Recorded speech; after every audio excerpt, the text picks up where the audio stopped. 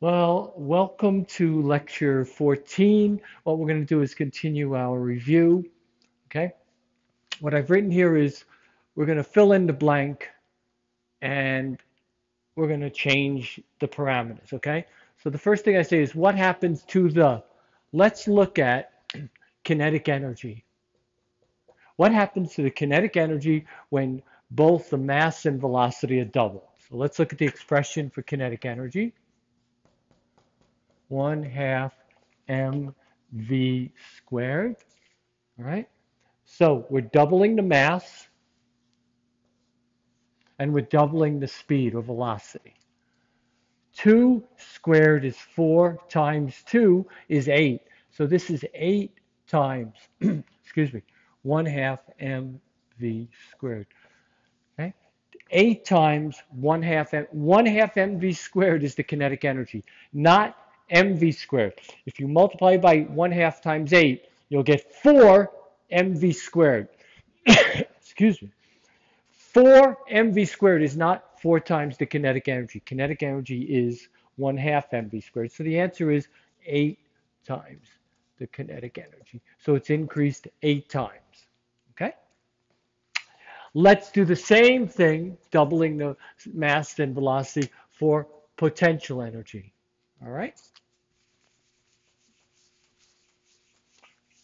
Potential energy, gravitational potential energy, is simply mgh. We're doubling the mass, we're doubling the. Potential energy doesn't have velocity in it. G is the acceleration due to gravity. It's a constant 10 meters per second squared is what we're taking it to be. H is the height, has nothing to do with velocity. So this simply becomes 2m times g times h. So it's 2 times mgh. And so it's 2 times the potential energy. Simply, what happens is the potential energy is doubled. Okay? Fantastic. What should we look at next? Let's look at momentum.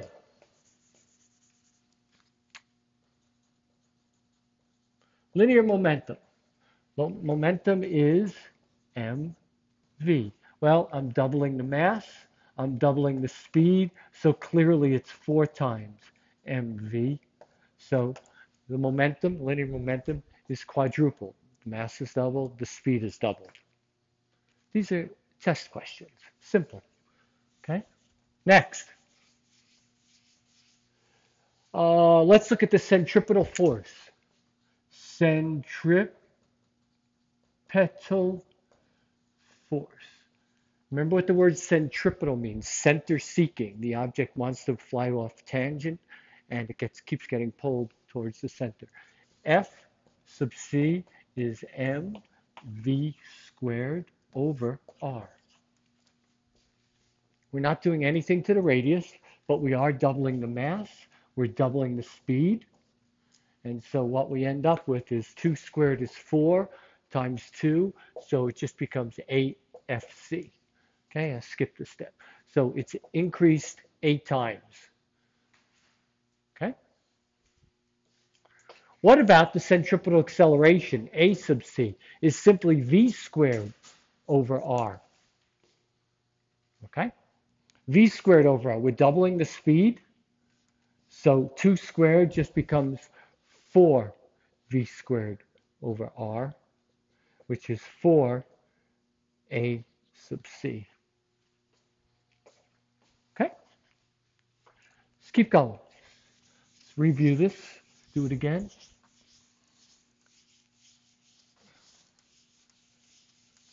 What happens to the, we'll fill this in, if, all right, here I'll say when mass is doubled, speed or velocity is quadrupled, and the radius is halved.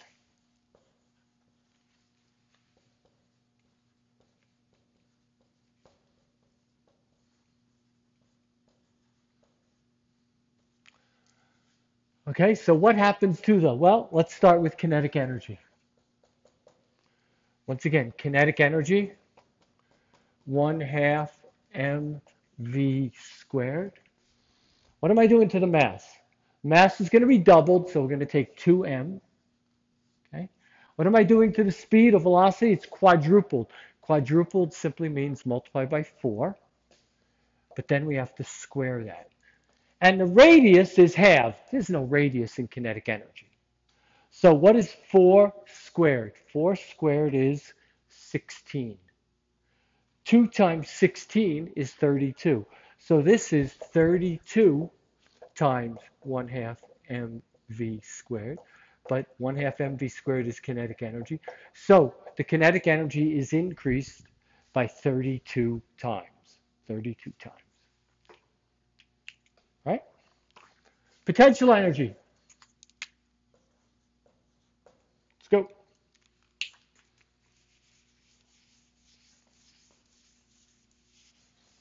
Potential energy is mgh. All right, this is this is easy. The mass is double. There's no speed and there's no radius. So m becomes 2m. And so we just get 2 times the potential energy. Okay? Simple. No tricks. Next, let's look at momentum.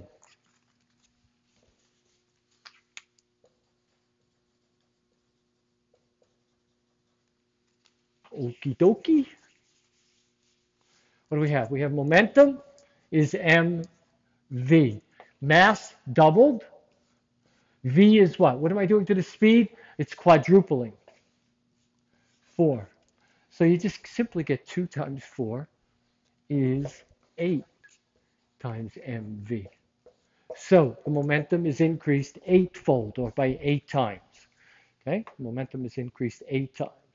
Next, let's look at centripetal force.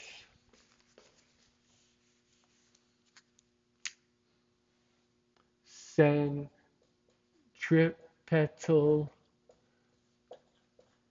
force. Okay.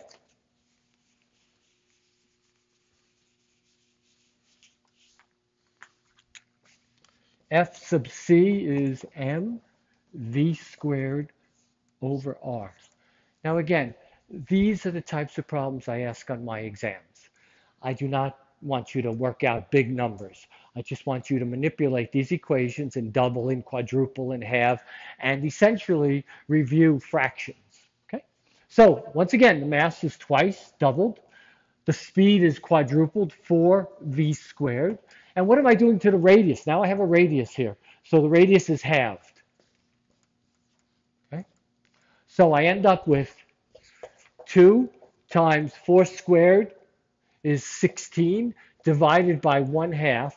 And then I get mv squared over r.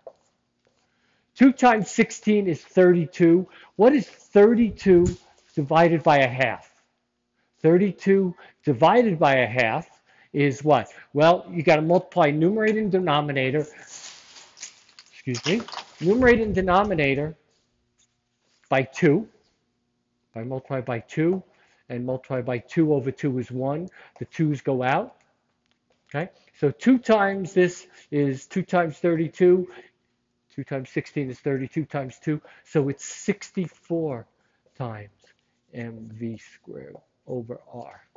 So it's increased 64 times. All right, centripetal acceleration.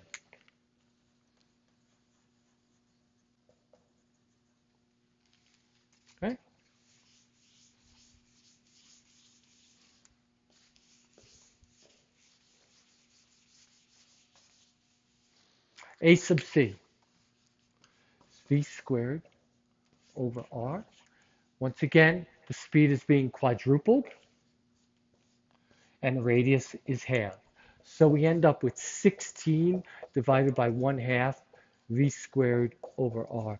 16 divided by a half is 32 times v squared over r. It's increased 32 times. Look, 16 divided by a half. Suppose you have $16. How many half dollars are in $16? The answer is 32. Once again, you can multiply by 1, which is 2 over 2 twos go out, 2 times 16, 32. Go to Khan Academy and review your fractions. All right? So these are the types of problems I'll ask. Plug in, double the speed, quadruple, halve the radius, what happens to momentum, what happens to kinetic energy, uh, what happens to centripetal force. These are the types of questions I will ask simply. You do not need a calculator. Maybe you need your fingers, maybe you need to review compound fractions. Otherwise, you should have no problems with this. All right, see ya.